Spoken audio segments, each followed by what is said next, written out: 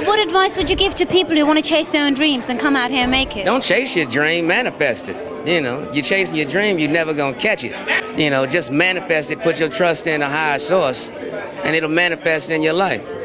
So, from the spiritual into the physical. That's right, baby. So, what do you do spiritually to keep yourself grounded and balanced?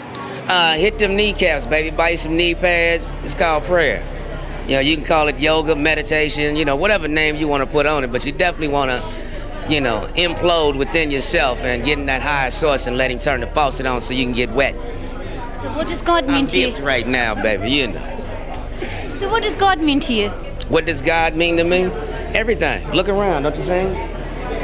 Look at the mastery of that tree over there. You know, roots that can take nutrients out the ground. And then plants that can do photosynthesis and turn that into food you and I can ingest. And then we turn it into a chunk of shit that goes right back in the ground to feed that plant all over again. That's a mastermind.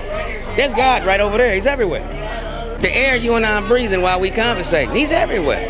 God is in everything. Yeah, baby.